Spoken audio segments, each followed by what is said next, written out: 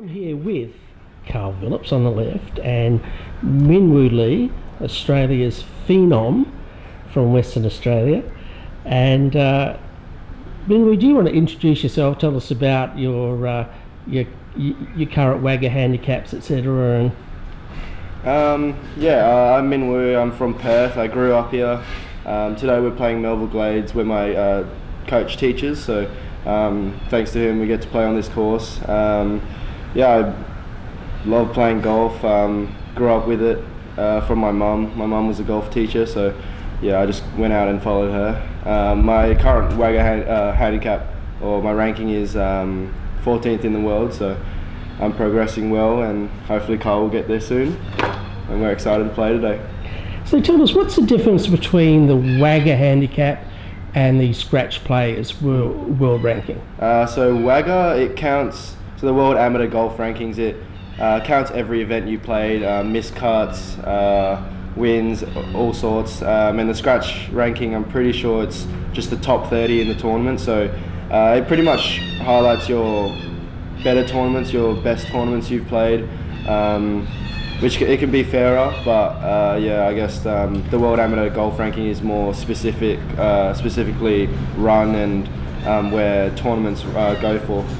Yeah, like some people say that the because obviously the WAGA doesn't weight tournaments on how recently it was played. The, it's got the same weighting whether it was played last week or 101 weeks ago. Whereas the scratch players is weighted more heavily towards recent results. Yeah, yeah. So if you were a horse racing guy, you would look at the go on scratch, scratch players rate, yeah. because Scratch- that tells you the yeah, form players. yeah, So yeah, exactly. what's your scratch players ranking? Yeah. Uh, I think my scratch players. I'm pretty sure I'm in the top five. Yeah. Okay, five. Uh, I didn't know that, but yeah, um, yeah, it's definitely more recent form. Um, yeah, if you want to look at how a player's going, you probably want to look at scratch more than the WAGA. But um, yeah, like I said, WAGA's a bit more like heavily looked on. Um, It, it's yeah. Now, Karl, what are your respective rankings currently? uh, 120 on Wagger and 85 on Scratch Players. All right, so we're starting. Well, I'm starting on the second hole because I had to go and uh, attend to some stuff while the guys got going. Alright, I think you're gonna hit him, So the 11th hole, 328 meters. At 28 is 356 yards, and uh, the guys have to wait because there's somebody up on the tournament. Karl's um Karl's a bit long here. He's on the green, so we gotta wait. Um, yeah, it's 350 yards, but Easy. you know Karl Karl can hit his driver pretty far. Uh, it's downwind, so um, we just gotta take caution here. Uh, he'll probably he'll probably hit him, so we'll wait this one out. So you guys halved the first hole. Yep. Any talk on how it went? Because I Um, missed it. Greens are a little soft. Yeah, They're not Um, slow, but they're soft. yeah. We both left our short uh, putt short um, for birdie, so uh, we just tapped in for par. Um, but yeah, I'm gonna birdie this one, so he's he's he's already one down. Right, Karl? Yep. Alrighty.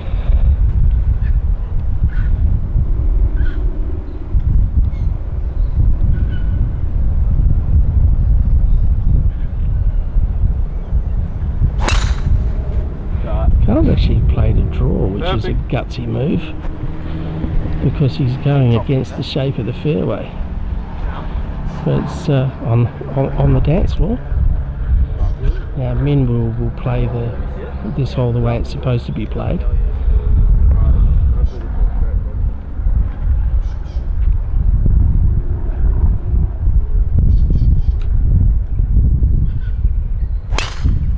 Oh, Min Woo plays it the correct way. So Min Woo, I'm curious there. You played it the way that it's supposed to be played. Yep. Karl, why did you play a draw there? It was pretty straight, Yeah. if you ask me. Uh, you can play. You can, off the yeah, you can so- play it both ways. Um, I guess he went against the hill and against where the hole went, but um, yeah, I just hit a fade just because I'm comfortable with more of a fade, and I know Karl draws it. So um, if, when you're playing good and you're hitting it straight, uh, that's what you. That's I guess you just got to feel whatever's comfortable and hit that shot. He's got to go to the gym. Well, my ball landed in the front in, into the sprinkler head and like stayed there, which is nice. So. I got like one meter to work with. yeah. so Karl's ball, Karl's drive, not sure if it landed and if it was hit and stopped in a sprinkler head. So he's got to run this one up.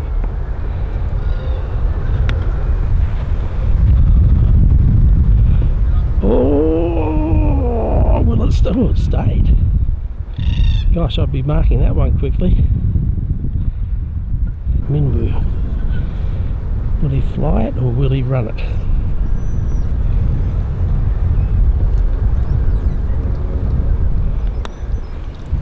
He's it all the way there. Oh yeah. Shot of the day. Could be a shot of the whole day.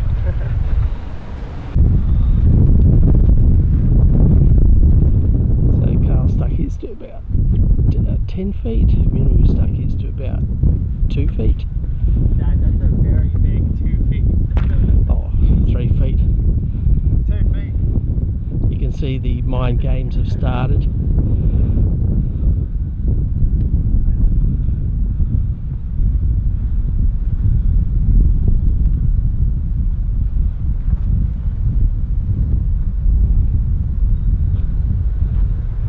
Let's see Oh, if he's Karl's feeling the pressure. let's see if Karl's putting his back.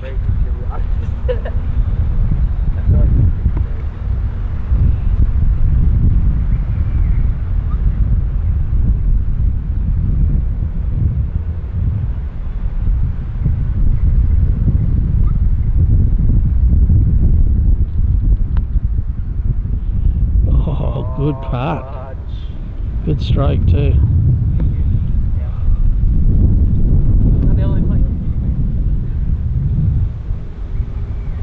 Right, Min Woo's putt just became a lot tougher.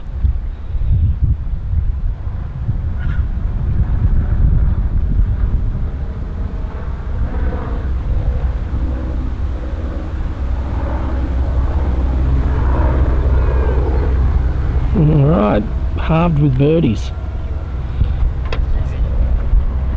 Easy hole. Few people realise that you're originally from Perth. I mean, we played a lot of junior golf when we were like six and seven, or when he was like nine. You'll, But you'll post a photo up when we were. Yeah, When when we we were were young. little munchkins. Yeah. But then I can't. I, when was the last time?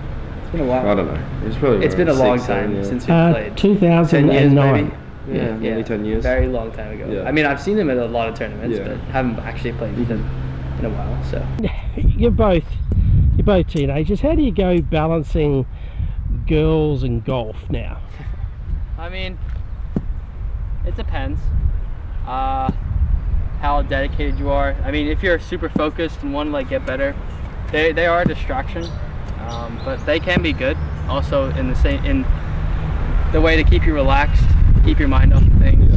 Um, but then, if you get too, you don't want to get too into things. Yeah. I think um, you, if you if you're getting into a relationship um, and you play golf, I think you kind of have to um, talk to them. I think communication is is key. Uh, uh, we travel a lot, so we don't we're not we're not going to be home that often. So um, you obviously want uh, a partner that um, supports what you do um, and is always there for you. So um, like golf can be pretty hard on the road, but if you have good family and friends.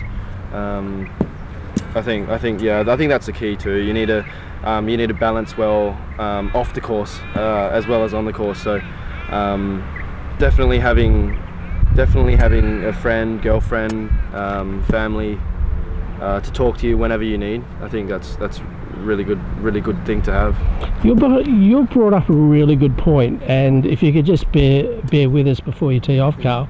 Look at somebody like Anthony Kim, who was just basically cut loose and allowed to do what he wanted, without having that structure around him. How you know how would you compare just being allowed to run wild as opposed to having that really strong unit, be it family, friends, or girlfriends around you? I mean, I guess it just depends how dedicated you are. Um, obviously, like Anthony Kim, he had so much potential, but he, I guess, wanted to have fun. Uh, I'm not sure what he's doing now, so I can't really comment on his life. But um, I guess if you wanted to, I guess he had the choice to come back uh, to see. Like, I guess it's just dedication. Um, I know for me and Karl, we always we want to be the number one player in the world. We want to um, make a name when we're up uh, in the pro rank. So I know we'll do anything to get back onto the golf course if anything happens, and um, I guess we'll show the world how uh, what we're made of. I said, I'm pretty sure me and I'm, I know I am, but Min was probably gonna hit a stinger driver into the wind here. Um, probably lower than mine will be. Oh fuck, the wind's died down. I'll still hit it. I can't get behind because I'll be looking into the sun.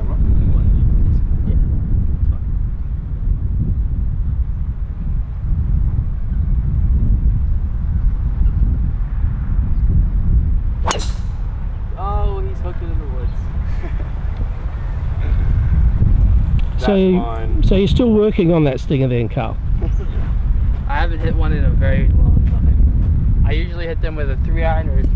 Now here is the So world. we're playing match play now. I don't need to uh, show off and hit the stinger now because he's pulled it a little bit in the tree. So I'm just going to go for a standard one. Um, a little into the wind, but my ball flight's pretty strong, um, so it doesn't spin up that much.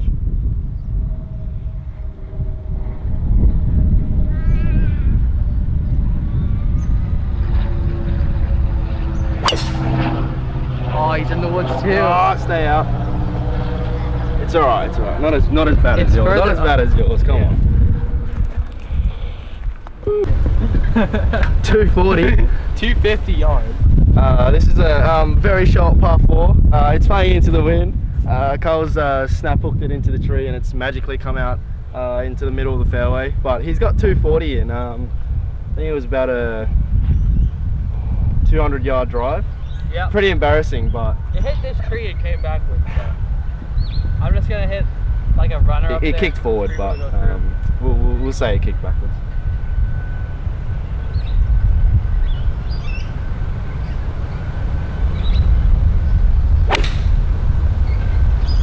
Oh, what a shot. That's close. Yeah, good shot. yeah, boy. That was good. I was like, that's so far right. It's not, it came Bro, you gotta play the draw to hit a 250 into Came back. wind. That's right. Great, is it? I mean, he's got a shot to the green. What club you hitting? I got a little seven. He's probably gonna hit a punch, draw. Um, he knows I'm on the green, so I'm gonna go for it. He's gonna go for the yeah. Punch under the trees will draw. Not too bad. Just doesn't want to get it up too high.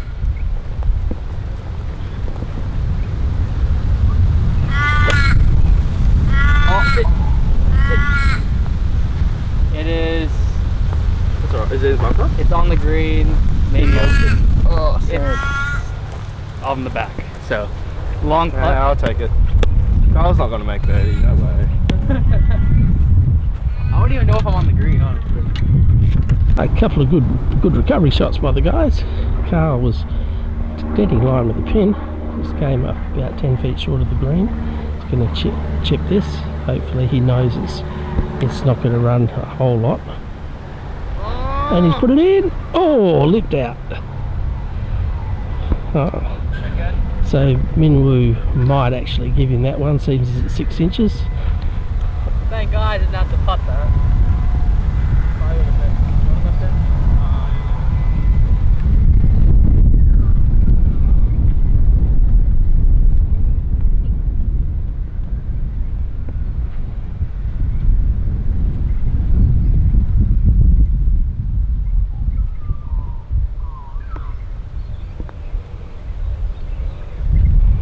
Do it. Oh, good putt by Min Woo. Good Can't lad. give him that. Oh, boys, stay square. Square through three. Three warm up holes. I'll take a par after. I think we both would after those two terrible guys.